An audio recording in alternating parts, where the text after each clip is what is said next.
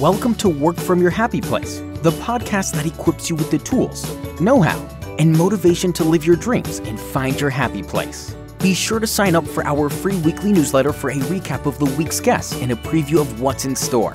To sign up, simply text the word Happy Place with no space to 33444. Now, it's my pleasure to introduce the host of Work From Your Happy Place, Belinda Ellsworth.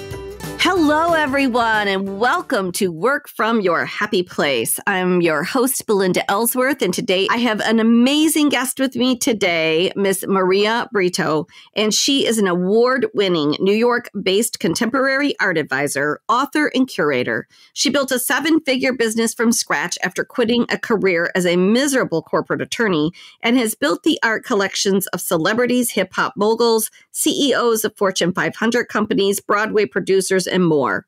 A Harvard graduate originally from Venezuela, her first monograph, Out There, was published by Pointed Leaf Press in 2013 and was the recipient of the Best Book Awards in both the art and design categories. In 2015, Brito was selected by Complex Magazine as one of the 20 power players in the art world, and in 2020, she was named by Art News as one of the visionaries who gets to shape the art world. Wow, that is pretty incredible. And I'm so excited to dive into this interview today. Welcome, Maria. Thank you, Belinda. I hope I can live up to the expectations of my bio. Sounds so incredible. Yet here I am still hustling my way. You know? Isn't that the truth, though? You know, we're oh, we always got to continue that hustle because you know you get these accolades, and you're. I always say you're you're as good as the gig you did yesterday. You always have to keep moving and looking for those new things. But let's go back. Let's go back a bit because the journey is always the interesting part of what shapes an individual and really what leads you onto the path that you're on right now, and really. Com- creating a completely whole new career for yourself. So, why don't you just fill in the gaps of this bio and let's uh, dig into the journey? I think it's always interesting to look back because I had uh, this idea that was uh, seated by my parents, but it was a lot of brainwashing that I had to pursue a dependable career, and that was being a doctor or an attorney or an engineer, things like that. And I was really a very creative child. Every child is creative, to the truth is, but I was a singer and a performer and an artist and things like that, and could have done anything like in fashion or graphic design and I don't know I had my own world and but with as I got older the brainwashing got stronger and stronger and I had to fulfill the plan that my parents had which was for me to be a an independent professional without any sort of problems around money or career or getting jobs or whatever it was. And so I, I was very fortunate that I was able to leave my native country, Venezuela, right before it became uh, an in, inhabitable, really, um, communist place, but I left and I went to Harvard Law, and I'm incredibly grateful for that experience. And then I moved to New York in year 2000, and I worked, and I worked in the corporate world, and I worked in corporate law firms because that was what I decided that I wanted to pursue. And I was not happy, I was not satisfied, but in the beginning, I was young and I went with a plan. I said, okay, you know, let me just do this. It's it's very dreamy. New York is and continues to be a very exciting place. And uh, and it was for me the culmination of all this effort and years of studies and whatnot. And by the time I was nine years deep into the practice of corporate law and I was pregnant with my first child, I started questioning for real what what was my future going to look like in a place where I was spending 14 hours, 16 I mean whatever, you know, when you're an attorney in a big law firm in New York City and honestly in any place, you belong to the law firm like a piece of chess and um I I wasn't happy. I respect lawyers. If there is any lawyer in the audience, I want you to know that this is my story and I'm not reflecting on you, but I was miserable because I did not see meaning or purpose on any of those humongous billion dollar transactions that I was working on. And so uh, for me it was uh, the combination of having my baby and knowing that I was going to have a very short maternity leave and then I was not going to see him again because I saw the partners who worked at the law firm and they were in a in a much more free position if you will right? Like i mean they were partners that are they had already proved themselves. They were making a lot of money and they still had no life. So i said i don't want this for me or my family and i know that i can do much better on my own if i actually follow my heart and the things that i want to do and i had always since childhood been very passionate about art and art history and modern and contemporary art. And I grew up with that because even though my parents did not believe that pursuing something in the arts was a career, they did believe it was a path to cultivation of intellectuality, uh, nurturing the mind, nurturing the senses. So I had a lot of practical training, if you will. And I had also taken a bunch of art courses both in school and on my own. So I said, if it's now or it's now or never, right after I have my baby. And I said, I already have a few friends who, you know, sell art or whatever. I have a few connections because I had bought art for myself, but certainly nothing important. It was very superficial and I, I, I, predicted it was going to become a really big market and that the market the art market needed more people like me at that time to help others understand it, navigate it without being elitist or snobbish, but more like opening doors and inviting people to a conversation, a dialogue, a cultural and historical dialogue, because artists artists are constantly putting out in the world our reality but they do it with their voice and it's always fascinating to see our contemporary life and culture through the eyes of artists as it is to look back and see what they did throughout history because that's what keeps history alive in many many circumstances and cases is not only the written word in books but also the art and what we see in those images. So i jumped into this business 13 years ago without really knowing how i was going to do it and how I was going to figure, you know, make money and yep. succeed and, and find clients and get noticed. And I think that my naivete of the time was very helpful because if I knew back then what I know nowadays is like I wouldn't have done it, you know, because because I I now am an insider of something even though I think I still have a lot of outsider views I am an insider and I know flaws, I know people, I know certain things. I may have gotten jaded, I may have gotten tired, but I'm not. I'm just saying that once you are in an industry, you get to learn everything, and then you're like, whoa, this is weird. But no, if I were to be doing, if I were to choose and, and if I could do it all over again, I would. I would do it all over again and I wouldn't change a thing.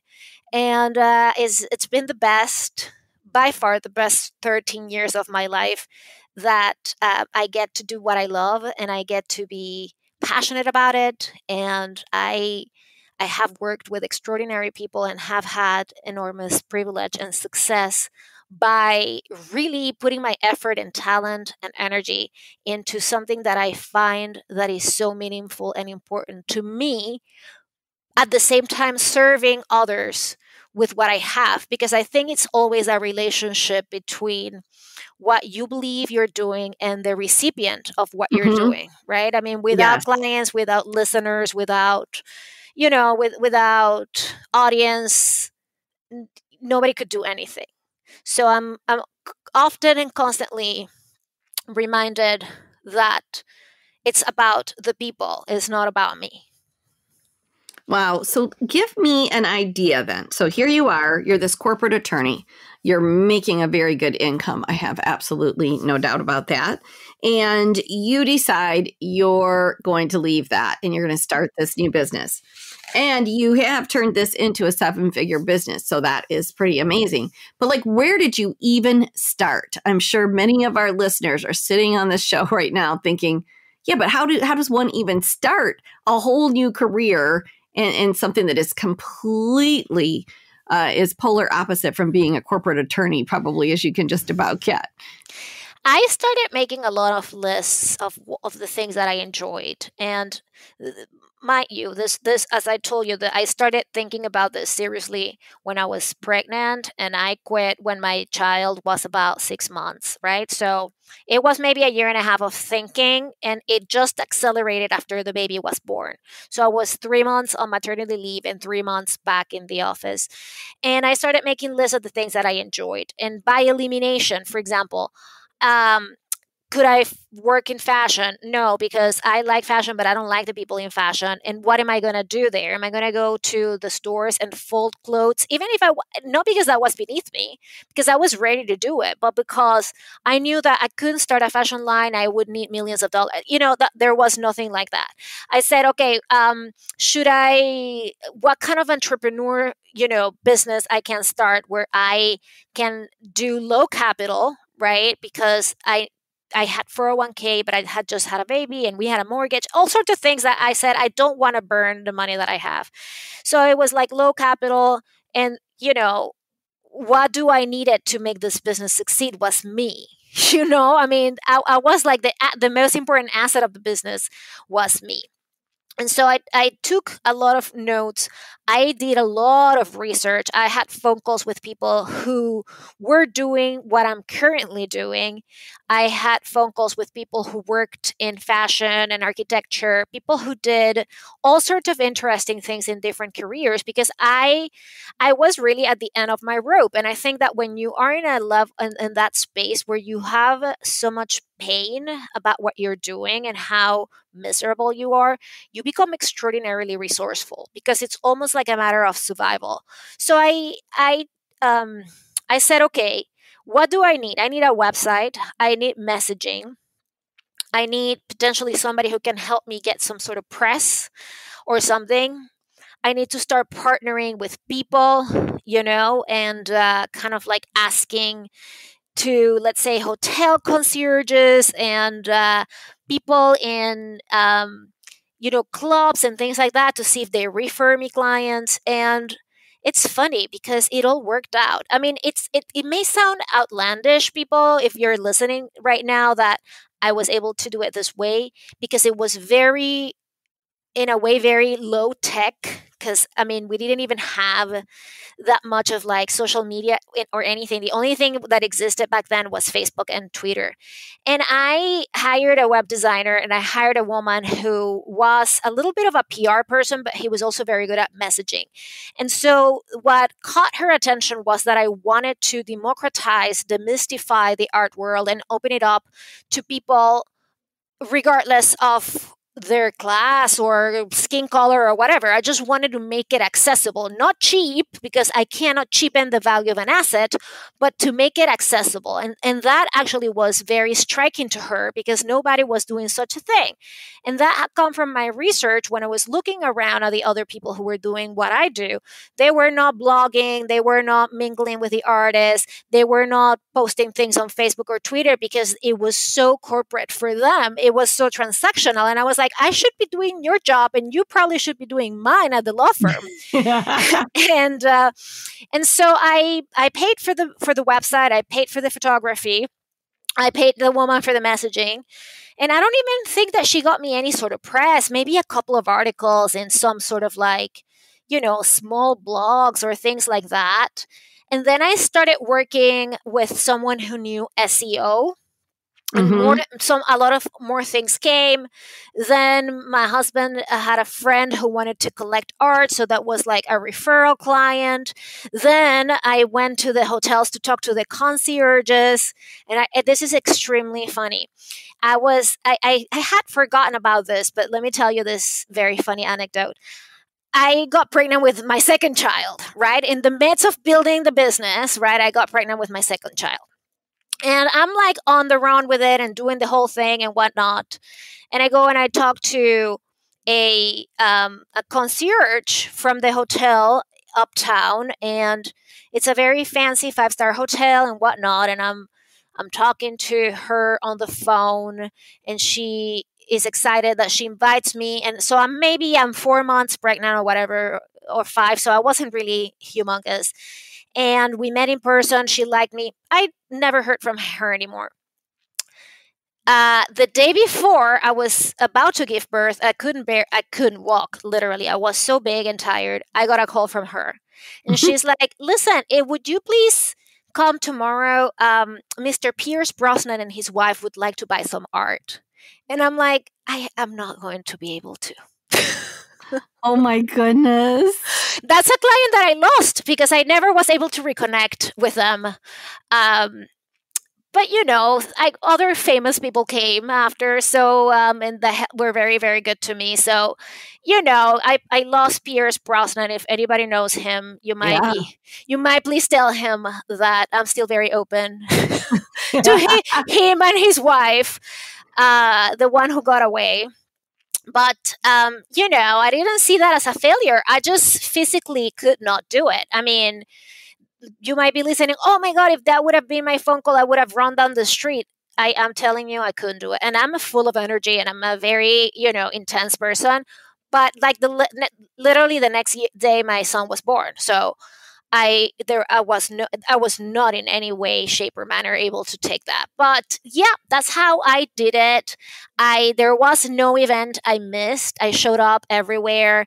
I went to every art fair. I shake the hands of everybody, and um, you know, here we go. It's been it's been you know it's and it's a constant evolution, Belinda, because once you are a business owner, there is always a shift and a tweak and you have to be willing to accept mm-hmm. that the way that business starts is never going to be how the business continues. Because we live in a world that demands constant upgrades and changes and and if you're not on that wavelength you might as well never open a business or change because it, it's what it's what the world is. It is so true. And we're seeing that even more. And so many people have had to shift in these last two years of uh, of how they even the way that they did the business and if it was super successful and then and how they had to pivot and continue to do business in, in a whole new way with clients so it's it you are so right about that I, I think people are always waiting for it to be sort of this perfect uh, situation and, and and the minute that it almost is it's changing again. So you just have to be willing to really roll with it uh, and take the new opportunities that come along because many times as long as you have an open mind you might end up in a whole new stream of income in the same industry you're in but just in, in a new in a new way. So i think that's uh, amazing.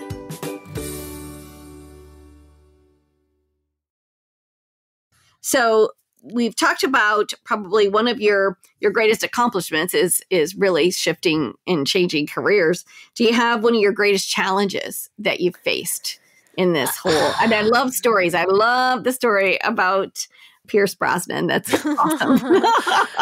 I think the challenge is that it's part of what I said before. When, once you're in an industry and you've been in this industry, like I have been for 13 years, you start noticing a lot of flaws in people, and you also some relationships may have eroded. You get to you know you know two people maybe too closely more than you should you know like things that yeah. you because you constantly see people in this business that i am in i mean pre-pandemic it was like we would go to art fairs all over the world all the time and run into the same people over and over because it was different inventory and you had different clients so you have to go and you have to do and a lot of times it's facetime and a lot of time it's intense sales periods right? And so i think the challenge is for me particularly once i am privy to so much information about people and their lives and their business dealings and whatnot um you may see them differently. And that's a challenge for business, right? Because you don't want to mingle whatever they do in their personal lives with like how they conduct business or you know if they're they've made a mistake at some point you have to be able to kind of forgive and move on and because eh, people are entitled to be humans and to and to make mistakes. And so i when i started as i said before i was so naive about everything. And nobody could tell me otherwise because if somebody said don't go to that person. He's a monster. Don't go to that woman. She's a witch. Do not deal with this. So I just it it didn't register because I was doing my own thing and I was building my own narrative. And that helped me tremendously because first I had a level of humbleness in a way in me that I was just you know, if this person is horrible, well, it's a shame, but I'm going to try anyway, you know. And that's how I went and built a lot of relationships because I was humble, naive, and grounded, and I needed to shake hands and I needed to put my face out in the world. And whatever they were or didn't were, that was not my problem. And, but now I do know so much. And so that's a challenge. And I think it's a challenge for any profession once you've been an insider for a little longer than, you know, than just the beginning of a career you get to start putting a lot of values and judgments on people's lives and then you have already had a couple of you know conversations and a couple of like maybe fights and and I don't like that but it's also unfortunately nature and I think in business you try to not burn bridges because the more you build and the more connections you have and they are good and robust the better it is for everybody but you know, I mean, again, things happen. And if somebody, you know, plays a trick on you more than once, I think that it's a shame on them, but then you have to burn that bridge, right? And so, mm-hmm. yeah, I think that the challenge is how do you keep all these connections kind of fresh when um, you've seen them so much and know so much and you know, it also may have to be with like, I'm a passionate person, I'm an intense person, right? If I were to remove every emotion from every interaction and remain like an ice queen, you know, six feet of distance and whatever kind of pandemic style, right? Then I'll be probably a lot more equipped to deal with those things. But I am Latina, I'm passionate, I'm full of emotions. And I think emotions play a very important part in business because people really feel if you are engaged with your energy Mm-hmm. Or if you're just floating above the whole thing with this attitude of like, don't touch me, I'm the, you know, I'm above, I'm the philosopher, I'm the queen, I don't know. And I'm not. I just want to be down to earth and I want to be friendly and I want to be warm. And uh, and those I think are qualities, not uh, not things that are detrimental, you know. Absolutely. And I was going to ask you next because we like to, I like to ask about what you think your greatest skill set is and you've already really kind of outlined a couple of those, but what do you think your superpower is that has just really helped you continue to be successful really and no matter what you're doing i mean there's those superpowers that are within that allows you to be really successful no matter what you should choose to do tomorrow my creativity that's my greatest superpower Yes, my ability to come up with new ideas of value at each turn. That's awesome. I also just wanted to highlight when you were speaking because a lot of with the advance it's it's like it's like social media is a double-edged sword. Oh yes. You know what I'm saying? Because you really outlined for a lot of younger entrepreneurs today that just don't really understand the power of networking. And so when you really talked about, I went to every art fair, I shook hands, I met people, I, you know, I, you were present and you met people and you made connections. And those connections is what led you to the next, you know, client or next uh, event or whatever the case may be. And, uh, and people are losing that art of networking by standing behind you can reach way more people through social media uh, for sure and you can get your name out there in front of a lot of people a lot quicker but you're not really building those strong relationships I cannot agree more with that because I think that we have a generation of, um, you know, the younger millennials and the Gen Z have grown up with all this technology and the access to phones and gadgets and iPads and computers since the very I mean my kids I'm I'm guilty right? My kids are 13 and 11 and you know they had iPads and and stuff when they were like 2 and 3 because we needed to keep them distracted and you know it was supposed to be like the great thing to put them to play games and you know connections and crossword puzzles and whatnot mm-hmm. and i think that it's uh, it's a, it's to their detriment actually to be so connected to these things because they I mean my kids are they are balancing it and I actually put limits on the time that they can use those things and they go to school in person with a lot of people and they get to interact and that's it's my it's my pleasure to see them grow and to see them flourish as well-rounded boys but I see a lot of kids who can't even talk to me in my face because they don't know how to hold the gaze steady. They are not necessarily having the type of skills that allow them to interact in person with adults or with other kids potentially. And it's not just a matter of being shy, it's that they don't know how to do it. And this is very dangerous because for for human interaction, you cannot move everything to a screen. We are doing this today because you are in a place, I'm in another, but I bet that if we were together in the same city, we'd probably get together at some point. And, um, but I think that the the whole sort of like although it brings a, a, another connection it's an unrealistic curated um, highly edited type of life, the one that is lived through a screen because you can't see person's flaws, you can't see or you cannot sense their true energy, you can't have the warmth of an interaction with a person that you like, you don't understand how that person looks or how tall they are or how short. And so I think that um, and I and my hope is that we can find better ways to educate our youth to, so that they go out a little bit more. And for the ones who actually have taken the steps of connecting with people in person those are the ones who are the leaders of the future. The rest will be just behind the screen. They might be coders they might be but they are not going to be steve jobs if you know what i mean. Like uh-huh. uh, that these guys uh, as genius and also eccentric as they were they they were connected to, and they are still like they are connected to their teams in person. Like elon musk is walking around his plants every day.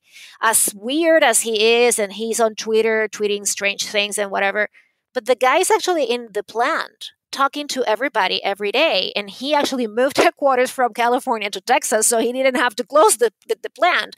So this man, he, he means business in a way that is not necessarily the way that other young entrepreneurs and visionaries are absorbing this idea. Yes, you can build a business behind the screen, and for sure, you can do many things without having to go out in the world, but it will never replace a true human interaction reading a room reading a face reading a body reading you know the the the normal gestures and and um, mannerisms and facial expressions and body expressions that people normally do. If you grow up without that, you're missing out on a huge and super important skill that it it's part of any leader's repertoire and you're also missing out on developing your intuition. If you're never around yes. people if you're never around people you don't know if the signals in your body what they mean.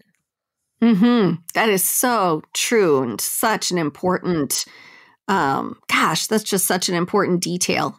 It really is because you pick up on those cues.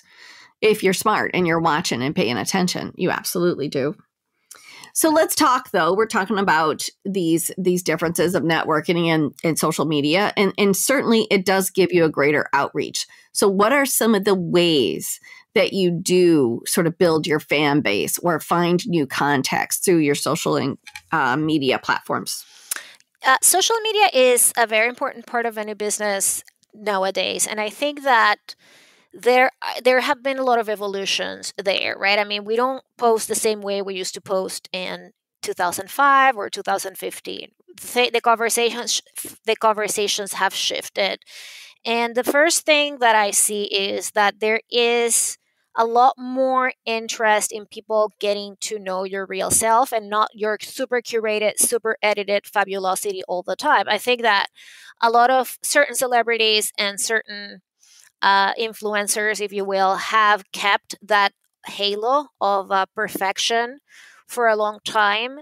And maybe that's the original audience they cultivated, and it's okay to keep it. But for a lot of the majority of us it's a lot of trying to present ourselves in a more uh, more authentic way and a much more relatable way. So social media it's a conversation and you have to engage people. And to engage people you have to actually kind of befriend them mm-hmm. ask ask them a lot of questions uh, hear them back answer back. Those those type of things are very very important.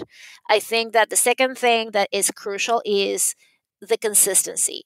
If you haven't posted anything in a month i don't don't ask why you're not growing. If you still are you know if you if you still have the same strategy that you were using in 2015 and you are not growing then i think you have to you know google up what's going on right? I mean all the things are always up for upgrading and for being relevant and being relevant means being in the here and now right? And and to yep. to provide conversations and information that are for the person that is today to 2021 and and it's fluid right? I mean by the end of the year we may have a whole other conversation and dynamic on the table. And i think that uh, we've had a very intense two years right 18 months of mm-hmm. all sorts of things that we have witnessed and uh, political turmoil and uh, you know, racial issues and so on and so forth. And I think that as much as certain people wouldn't want to touch those topics, they are not necessarily to be ignored. And thus, that's kind of like important no matter what you do, because if I get that you know people don't want to get into politics because I personally don't want to get into a political fight with anybody and I'm not a fanatic either of anything. I just I just want to make sure that I make the point of saying that I I want to engage with people with commentary and relevancy on things that Im- impact the greater good of Americans or society in general. Mm-hmm. And that means that I have to be paying attention to what's happening today. And if I have an opinion, I try to be um, expressing of my opinion in a way that is respectful to everybody but not everybody understands that anymore because the extremes are so extreme that if you even want to be able to say things and open up a dialogue with two sides the two sides might not even listen to whoever is in the middle because they are blinded by their own views. And it's almost like they just want to live in an echo chamber with all they listen is the same thing. And and that's just like you know it's a very it's a very dangerous place for progress. It is a very it it also denies creativity and innovation which is what i'm all about yes absolutely so, this is our sort of signature question of the show, and that is what does working from your happy place mean to you? The happy place means a lot of fulfillment, personal fulfillment. When you are in a place of service to others and doing what you love and surrounded by people you like, I think that you've hit the happy place, right? And there is growth because growth can be interpreted in so many different ways. I think that every time you have a small win that's growth every time you have a positive interaction with a client and you get a, a pat on the back or a, a little bit of a flattering comment that is growth that is almost like when you water the plants and all those little things are needed and growth is not necessarily getting a $5 million injection capital injection tomorrow although if it is amazing but that's not necessarily what 99% of the people um, get every day right and so mm-hmm. I think that living in, and and and being and, and working from your happy place is having all those uh, moments in your day where you feel so much gratitude for what you're doing and you can't even imagine that you would be doing anything else. Right. That's a really great explanation of it. so, what advice would you give to others that might be in the same shoes that you were in 14 years ago or that want to start a whole new career doing something completely different or are just starting their business out and they just really need some advice on best practices. I think to survive in business and to thrive, it the, the, the one of the most important thing as i said before is to striving to keep all your relationships alive and well and that's your vendors and your clients and the people you serve and whatnot. And and um, that is crucial obviously because you can't do anything without having all this other parts of your business functioning and well. I also think that it's okay when you decide to change and this is uh, also what i said before you're going to have to make peace with the idea that you're going to have to shift and shift might mean you're going to have to close a division you're going to have to uh, let people go you will have to probably um, you will lose money at times you will have to adjust and you cannot give up every time one of these things happen because they will happen. And it's very important to be able to to go through that storm without drowning on your boat and saying, "Oh gosh, I don't know if this is the right thing to do." Because if you if you're strong enough in your conviction of what you're doing and you have seen success, it's this just going to be a moment. It's going to be just an an an interim moment where things will have to readjust. And that's why you see so many people who actually thrived through the pandemic, or they were in a period of darkness and they were able to resuscitate and revive their businesses because they figured out how to adapt to the times that we're living in. And we don't know how many other things are going to happen to us as humans in the next few years because the, there is so much that you and I and all of us do not control and that we don't even know why they happen, who's behind them. We don't know anything. What we do, what we do know is that we are responsible for our actions as individuals, and we are responsible for the for the execution of our ideas. And things just don't happen. We make them happen. Absolutely. So, any new and exciting things you're working on, and then how can our audience stay in contact with you or find you? Yes, I'm very excited that in March of 2022, I'm launching a new book with HarperCollins. And it's a book about how I built my business, but it's also a book about how people can use creativity to quit their jobs, open businesses like I did, or pivot their careers. And it's all intertwined with history, with other successful entrepreneurs, with art history, with psychology and neuroscience. So it's a it's a very deep and comprehensive manual on what anyone wants to do to make their ideas a reality and and to see them succeed and so i'm super thrilled about that Ooh, fun. and yeah and uh, people can come to my website mariabrito.com and i have links there to my instagram linkedin facebook twitter and also the sign up for my weekly newsletter called The Groove. And this is a newsletter where I also explore weekly topics on creativity, psychology, business, uh, researches on the latest about how people can improve the work in teams or alone, or how people can utilize their whatever it is around them, their resources to be better at what they do. And so I'm super proud of that uh, project because I know it has given a lot of excitement and a lot of value to the readers because they always email me back and they say how much they appreciate what I'm doing for them. And that's actually the ultimate goal is for you, the reader, the audience, to feel that they are learning something, they are being entertained, they are being cultivated, and that there is value and practical things that they can apply to their lives. I like the idea of giving people all these tools that actually have a practical you know that they can have an application mm-hmm. in real life Absolutely. Well, Maria, this has been delightful. You've been so insightful, and I've loved the energy. You've just really brought it today to the show. So, uh, thank, thank, you, you, Belinda. You're the best. Thank you.